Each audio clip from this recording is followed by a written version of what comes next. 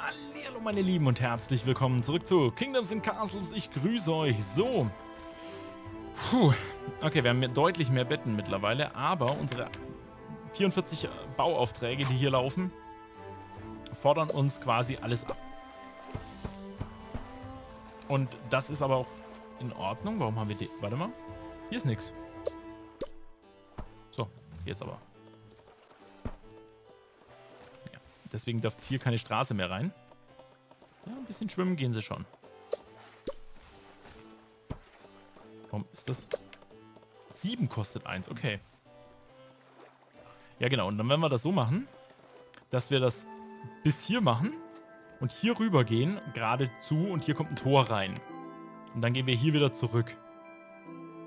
Und dann müssen wir halt hier einzelne Türme bauen. Das ist halt dann die Küstenlinie. Mhm.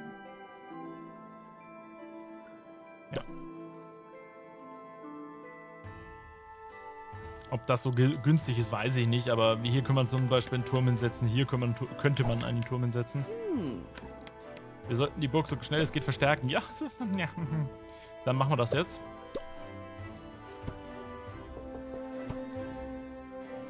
Wir sollten auf jeden Fall da durchaus noch ein bisschen äh, mehr äh, ranhauen, nicht bauen, sondern hauen.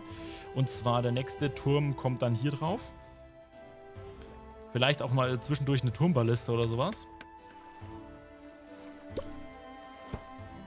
Genau, weil dann haben wir nämlich von einem Turm zum nächsten nie mehr als eins Abstand und das passt nämlich auch. Die Turmballiste kostet 35 Holz. Wir sind sehr, sehr schnell unterwegs, das ist in Ordnung.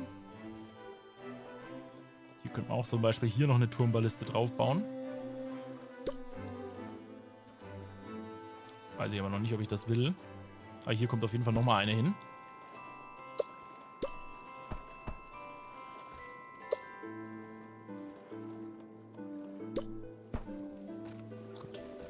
Wie gesagt, ich will halt möglichst schauen, dass wir rumkommen. Hier noch ein Tor reinbauen vielleicht. Oder hier gehen wir hier durch. Ich weiß es noch nicht. Ja, äh, zerpflücken wir halt dem voll sein Forstgebiet. Aber gut, das ist halt jetzt so. Ich finde das auch nicht unbedingt hübsch gerade mit der Verteidigung. Aber ähm, ich weiß, dass die Ekinger gleich da sind und es heißt, wir müssen jetzt irgendwas tun. Möglichst schnell hier tatsächlich irgendwie zu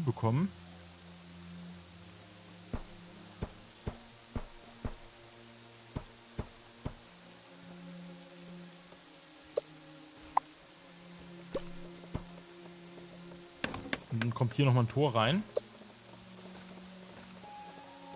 Brauchen wir 15 Holz für.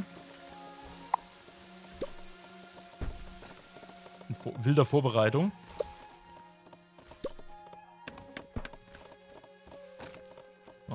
wie gesagt, zur 7 ist unser Ziel. Und recht viel mehr werden wir auch tatsächlich wahrscheinlich gar nicht mehr schaffen. Also ganz rum werden wir es nicht bekommen. Das heißt, ich werde mich jetzt äh, mit dem Holz stur auf die Bogenschutz, Bogenschießtürme konzentrieren. Eventuell dann noch irgendwo eine Balliste. Noch ein Händler ist gekommen, okay. Ob der weiß, was er tut? Wikinger greifen an. Die kommen mit zwei Schiffen diesmal. Oh, oh, oh, oh. Zwei Schiffe, meine Freunde. Okay. Die werden diese Flanke kriegen. Ich denke mal, es wird durchaus sinnig sein, hier nochmal einen zweiten Turm drauf zu schnepfen. Ja, genau. Ähm, die Bogenschützen werden wir nach oben packen. Über die Bauarbeiter.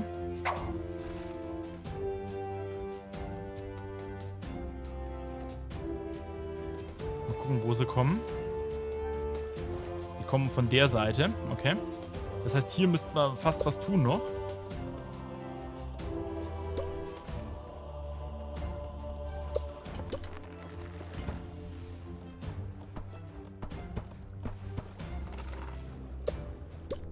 So.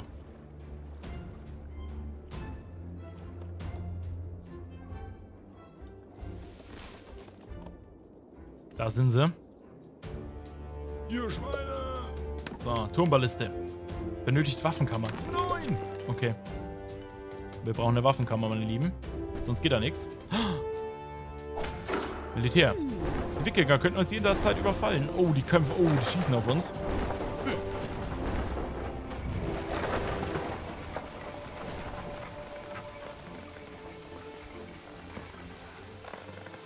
Aber die kriegen permanent hier, wenn sie durchkommen... Wow, die haben das kaputt gemacht. Die machen die ganzen Türme kaputt.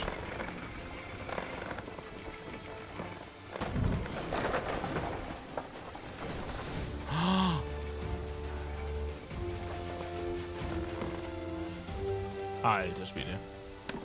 Und deswegen, meine Lieben, baut man an solchen Eckstellen dann Steine auf. Ich meine, jetzt haben wir wieder zwei Jahre bis zum nächsten Drachenangriff. Kann man lassen, ne? Balliste könnten wir hier oben auch aufstellen. Ja, dann einen riesen Radius. Wenn wir die hier oben drauf packen würden, können wir die hier auf, auf, aufs Dach darstellen? Nein. Ja, hier jetzt sind natürlich mördermäßig großen Radius, aber gut. So. Wir brauchen mehr Steine.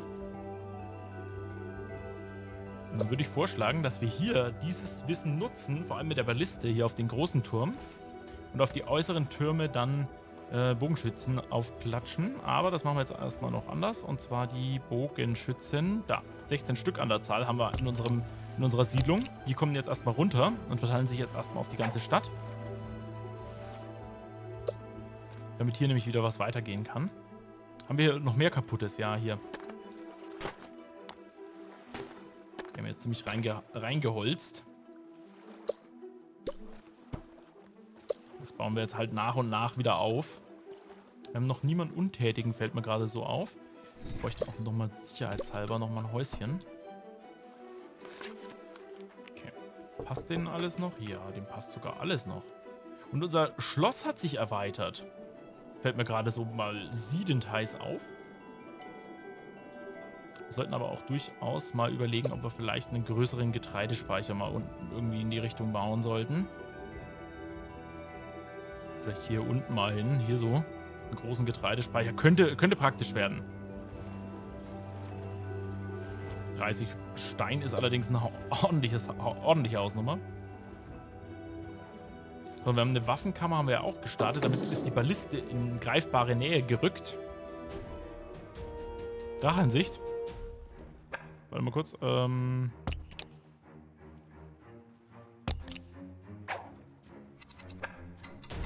Wo ist der Drache? Der kommt von hier unten, tatsächlich. Da haben wir noch Türme. Sind unsere Leute... Oh, unsere Balliste... Oh Mann. Unsere Türme sind nicht, befall nicht bewacht. Doch die.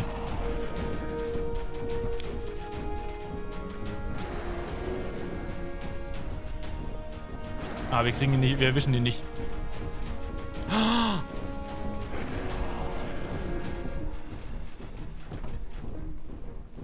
Komm schon. Nein. Okay. Wir packen die Bogenschützen weg. Sogar noch unter den Festplaner. Wir haben eh kein Geld, um die Jungs und Mädels zu bezahlen. Alter Schwede, das ist, das ist bitter. Ich erhöhe die Steuern auf 2. Wir können es nicht anders halten. Das ist bitter. Und genau deswegen brauchen wir hier Steintürme. Die halten einfach ein ganzes Eck länger, weil so, sowas ist natürlich echt mördermäßig bitter. Händler ist eingetroffen, das ist sehr praktisch.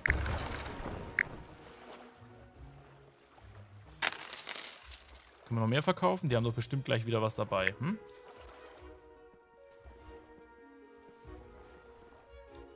Muss auch noch mal mindestens ein Turm hin. Ach, das geht parallel. Ach, das ist ja praktisch. Hier will aber kein... Also dafür gibt es uns einen schlechten Preis für ähm, Holz zum Beispiel. Der Rest hat einen guten Preis, würde aber auch Eisen verkaufen. Wir haben aber gut Eisen. Nämlich interessiert nur der Preis aktuell für tatsächlich für Getreide. Hier wird alles Mögliche eingelagert, stelle ich gerade fest. Auch große Lagerfläche im Übrigen. So, also unsere Feldern wächst mehr Nahrung, Förster haben viel produziert. Aha, dieser Drache wird es sich zweimal überlegen, diesen Weg nochmal einschlägt, ja. Er kommt aber wieder. Das ist schwierig. So. Schöpfrad. Aquädukte? No. Ein Markt. Ja, geil. Dann können wir endlich mal hier so einen Markt reinbauen. Dann müssen die nicht immer hochlatschen, sondern die Leute vom Markt holen das. Oh, mega gut.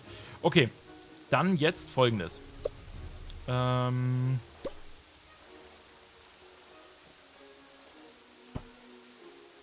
Wir haben natürlich jetzt kaum Stein, ne? Weil wir immer noch unser... Wir krebsen immer noch ein bisschen daran rum, hier einen Außenposten auch hier drüben zu bauen. Das wäre natürlich ein mega befestigter Außenposten. Und dann könnte man mit einem Hafen hier, könnte man dann halt hier auch mega viel Stein abwirtschaften. Das mit dem Transportschiff dann rüber schaffen, das gar nicht mal so schlimm teuer ist. Aber 250... Ho äh, achso, der Händler ist weg, ne? Hm. Ja, also die wichtigste Aufgabe ist jetzt erstmal hier unten einen großen Getreidespeicher zu einzurichten. Der sollte uns erstmal eine Zeit lang über Wasser halten. Wie schaut es da aus? 37 Nahrungen produzieren wir im Überschuss. Wir brauchen einfach nur Steine. Und Steinlager ist, glaube ich, so eine Sache, die wäre für uns nochmal interessant, weil wir produzieren nämlich gerade so viel Holz, dass ich gar nicht weiß, wohin damit. Selbst, also, ich weiß wirklich nicht, wohin damit. Ich mache mal zwei aus. Oder wir reißen vielleicht mal den ab und machen den an oder so. So vielleicht, ja.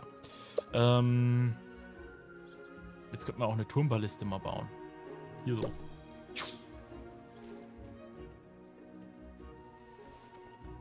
Warum nicht? Das war auf, einem, auf so einem Ding natürlich ein bisschen verloren, aber naja.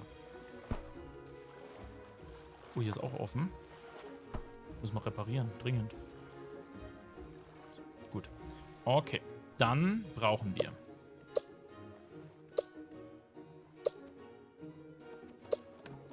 Also was wir wirklich brauchen, ist auf jeden Fall ein großes Lager auch nochmal.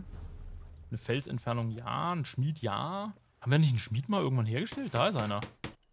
Nee, ist ein Maurer. Hat er aufgerührt? Oh, der hat repariert. Ja, geil. Ja, wir haben auf jeden Fall zu viel Holz. Das ist, das ist eindeutig klar. 30 Steine sollten wir jetzt wieder weglagern. Und ich glaube, das größte Problem ist, liegt einfach daran. Dann machen wir hier mal 0 rein. 0, 0, 0, 0. Hier kommt wirklich nur Stein rein.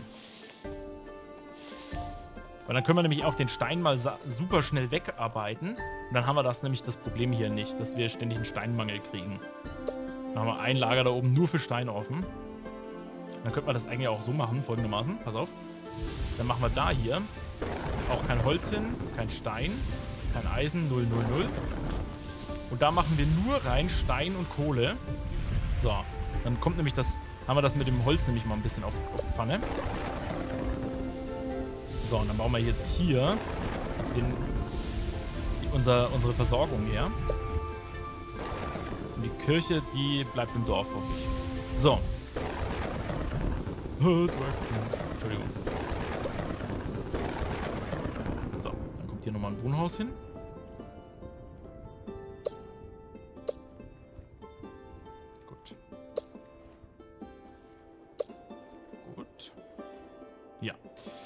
Jetzt ist es nur noch eine Frage der Zeit. Wir bräuchten eigentlich, müssten wir jetzt Richtung Außenposten mal überlegen, aber 200 Stein ist halt viel, ne?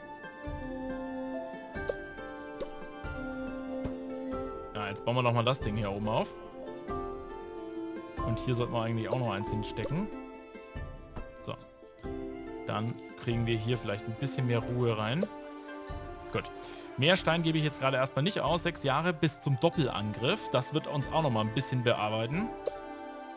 Hier kommt auf jeden Fall auch nochmal ein Geschützturm drauf. Wir müssen uns jetzt richtig einigeln, habe ich so das Gefühl. Was ist denn das? Bogenschützturm. Schießkunstmeister. Militärausbildung. Hier, das ist Militärausbildung, oder?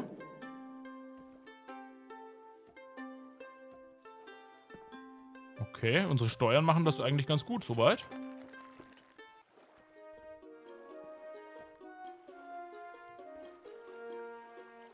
Okay. Die haben richtig schönen Radius auch, ne? Ist ja toll. Ich wollte aber noch ein großes Lager eigentlich hier in, unten hinbauen. Hier so vielleicht. Hier so. Ja, hier. Nee. Ja? Nee. Hier. Okay, dann...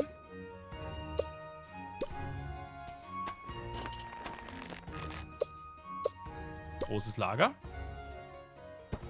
Marsch. So, dann können wir nämlich sogar zwei hinpacken. Dann könnte man hier deutlich mehr weglagern. Wir haben immer noch niemanden Untätige. Oh, die Zufriedenheit sinkt uns gerade weg. Infektion haben wir. Achso, wir, wir, heilen ja auch tatsächlich die Leute sofort wieder. Ja.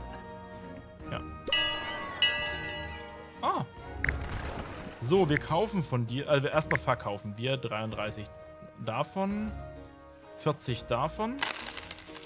Dann kaufe ich von dir 11 davon.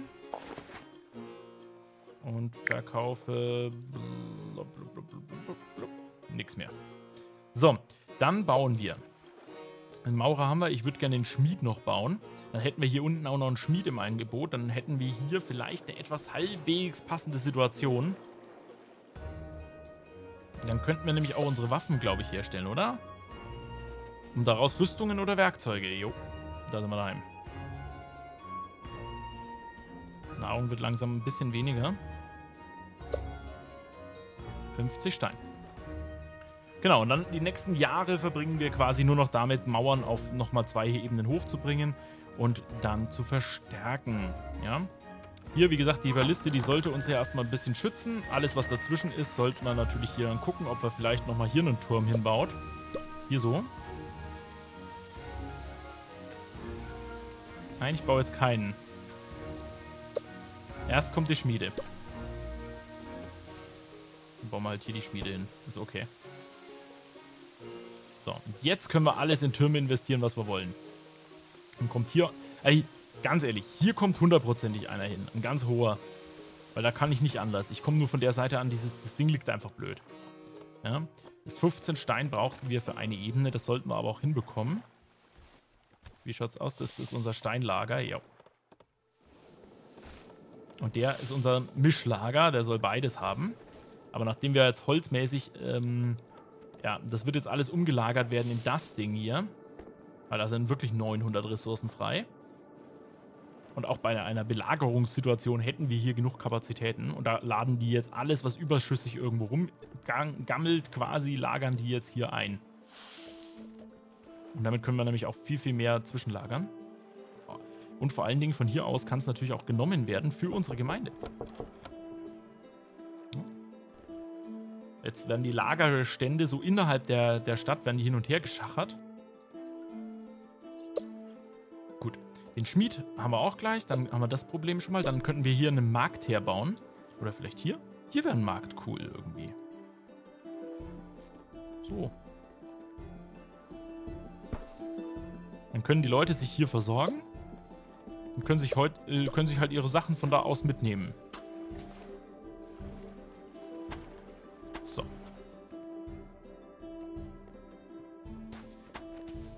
hier, hier haben wir dann auch noch Zugriff auf alles. So, wir haben jetzt schon angefangen, die ersten Teile mit Stein zu bauen. Das kostet aber auch sehr, sehr viel. So ein Stein-Upgrade ist nicht billig. So, dann fangen wir jetzt an mit den Randtürmen. Vor allem der Turm ist strategisch absolut bedeutsam. Wir mal, die haben die ersten Leute, die sind frei. Ja, wir schalten mal die Bogenschützen aus. Und rekrutieren mal einen Helden. Weil zwei Jahre ist nicht mehr viel.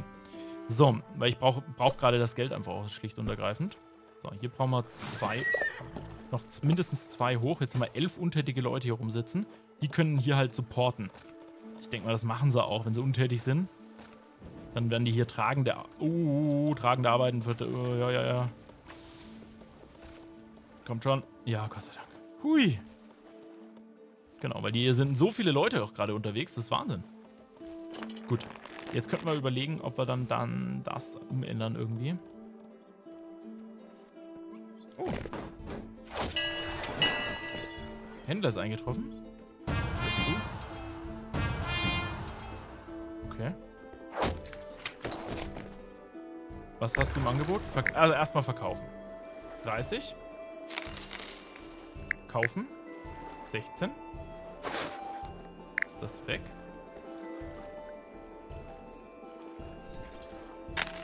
So, jetzt haben wir 600 Gold. Dann bauen wir das jetzt nochmal mindestens eine Ebene höher. Oder aber zwei. Zwei ist auch gut. Was machst du jetzt? Wartende Soldaten. Ach, das ist nur ein Held. Oh. Okay, ein Jahr, dann wird's ärgerlich. Weißt du, Wikinger könnten uns jederzeit überfallen. Ja, ich weiß. Da müssen wir jetzt auf jeden Fall noch ran, ranklotzen. Hier kommt die Balliste drauf und hier kommt dann jeweils links und rechts noch ein Bogenschütze drauf.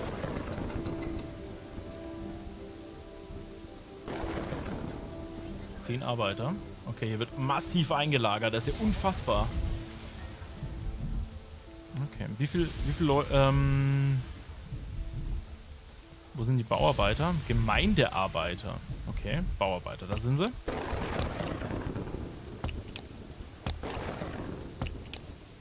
Die Bauarbeiter kommen unter noch unter den Festplan, also alles ab da. Da werden Bauarbeiter eingesetzt. So, zwei. Nochmal eine Ebene hoch. Gut. Können wir jetzt mehr Steuern verlangen? Ja. Errichten Sie weitere Tavernen. Oh Gott, Mensch. Tavernen. 15, oh, 15, ja. Passt mir jetzt nicht so ins Konzept, hm? Mit den Tavernen. Warum ist die überfüllt? Ja gut, dann bauen wir halt hier noch eine her. Aber mir wäre es wichtiger, wenn die ja hier mal ein bisschen was vorankommt.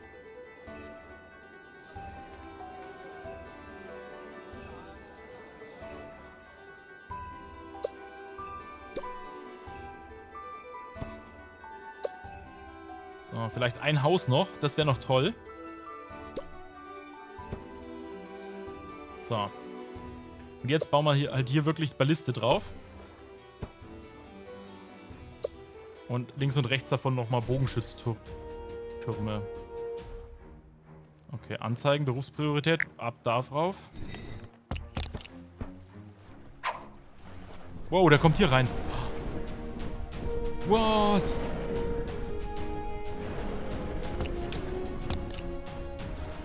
Wo sind die Bogenschützen? Da oben. Okay, die sind auf Platz 1.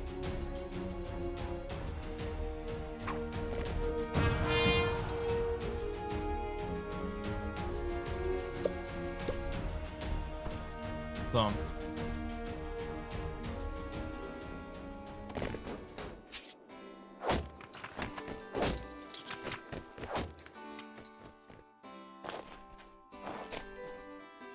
Alter Schwede, das ist ja gemein.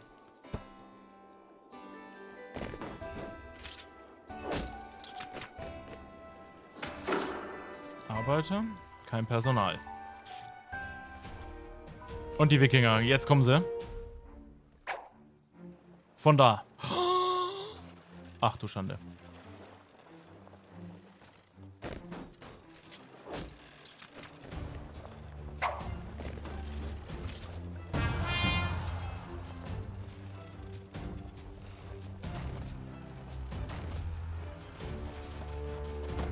Ach du Schande. Oh, sind das viele.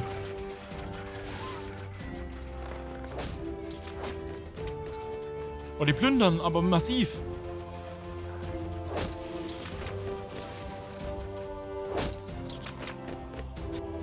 Ach du Scheiße.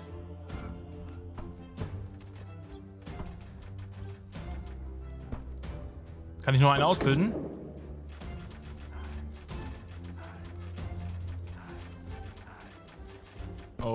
Holy moly.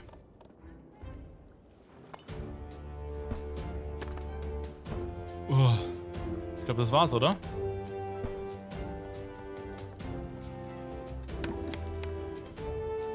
Alter Schwede. 13 Jahre.